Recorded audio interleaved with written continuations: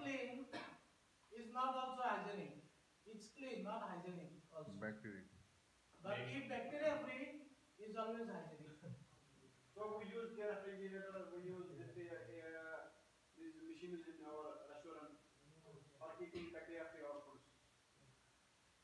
Bacteria free means, see the, Making an environment where the bacteria cannot grow.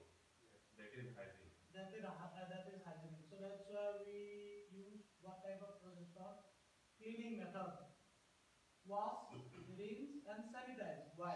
Only wash it finish, no? I, this is clean, only wash. Why rinse, why sanitize? Three steps we are follow because of its hygienic.